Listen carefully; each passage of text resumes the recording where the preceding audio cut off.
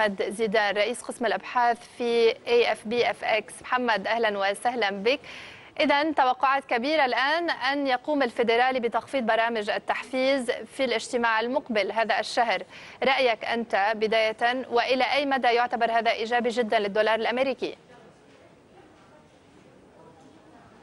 بالطبع في الفترة الأخيرة بعد البيانات الإيجابية اللي شفناها من ناحية النمو أو الوظائف ومن شهر خمسة اللي فات أي بيانات اقتصادية بتيجي بنتم تعديل رؤيتنا هل سيتم التقليص برنامج شراء الأصول الأمريكي في في في ديسمبر القادم أم العام القادم؟ من وجهة نظري الشخصية أتوقع إن ممكن يتم تأجيله لأن لكذا سبب.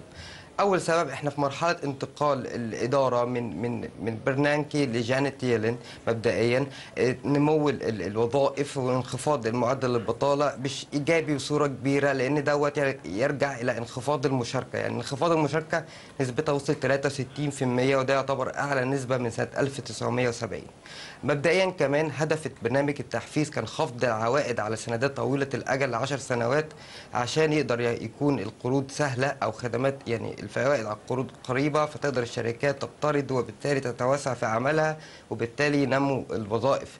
بس نلاحظ إن الفترة الأخيرة حتى مع البيانات الاقتصادية الأمريكية لسه ما زالت العوائد 10 سنين على السندات الأمريكية فوق مستويات 2.85% بالتالي فالسوق منقسم في ناحية التيسير الكمي هل سيتم أم لا؟ وبالتالي أيضا الفدرالي منقسم. ولكن لو كانت يلين هي اللي تتولى فيلين من أكثر الناس مؤيدة لعمليات التيسير دايما والتحفيز ومن أكثر الناس التي ترغب في تضخم مرتفع. حتى نفتكر مرة مقولة لألان جرينسبان لما كان متولي الفدرالي الأمريكي some inflation is good not bad inflation يعني. بعض التضخم ممكن يكون شيء جيد. فبالتالي لما يكون عندنا مساحة للتضخم لسه تضخم منخفض في جميع أنحاء العالم بالتالي مدي